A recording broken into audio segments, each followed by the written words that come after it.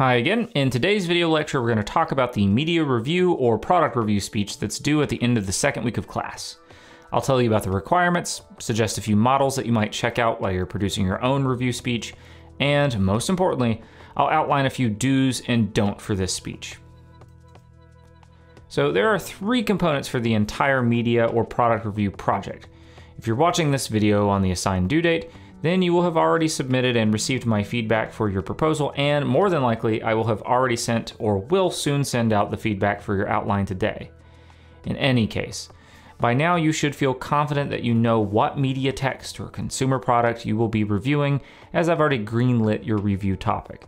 Again, just to reiterate, you can review a film or book, video game, comic, television series, or a single episode, an action figure, some sort of consumer electronic. There's a lot of things that you can review all with the explicit goal here being to review, and thus make a recommendation about whatever it is that you've chosen. Before moving on, let me remind you of some basic requirements for the media review speech.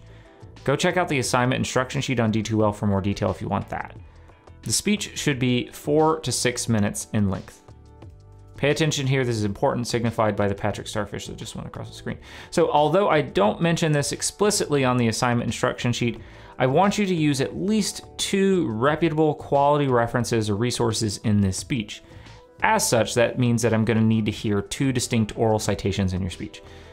These could come from consumer reports, scholarly books or journals, critical reviews, sales, news reports, box office reports, reputable news organizations.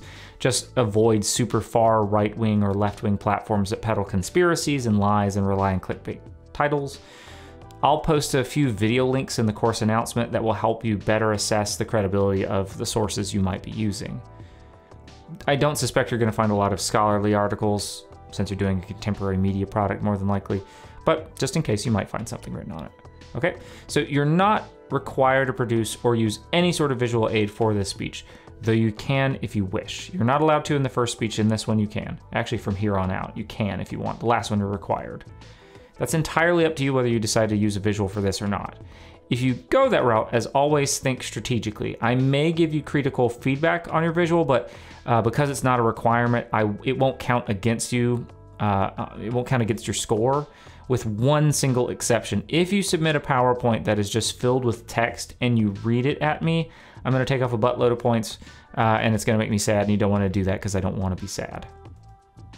So whether you're reviewing a book, a film, or a smartphone, I want to highlight a few creators who I think produce engaging reviews that are smart, thorough, and entertaining, so you might look to their work as a model. Chris Stuckmann, for instance. He creates excellent film and sometimes even video game reviews on his YouTube channel. Go give him a look. Marques Brownlee, or you might know him better as MKBHD. Uh, he produces exceptionally high quality video reviews of consumer technology products. Really, really great stuff. Um, Next up, journalist and content creator Alanah Pearce. I've been following her for years.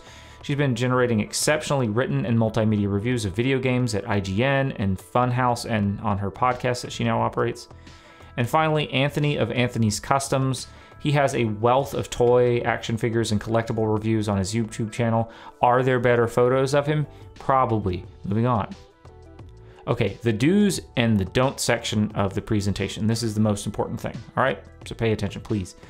A review is a particular speech genre. There are certain expectations that a viewer or a listener will have when they know they're about to read or watch a review of a film or a video game, for example. You've more than likely consumed video reviews or reviews your entire life, right? But this might be the first time that you've ever made one. So, I want to offer a few tips and tell you things that you ought to include and the things that you should generally avoid. First, please tell the audience what it is that you're doing. Tell the audience that you're reviewing whatever it is that you're going to be reviewing and that you'll be making a recommendation. If you're going to review Spider Man for PS4, a flagship smartphone, or a new album, tell the audience the relevant information. Let's think about this in terms of a film. For example, if I were going to review Thor Ragnarok, I would tell you a few things the title, release date, the director, I might mention a few stars of the film, box office return, maybe even the studio that produced it if it seemed relevant, which it might for a Marvel film. Okay, so this brings me to point number two. Assume that the audience doesn't know much of anything about the product or the media text that you're going to review.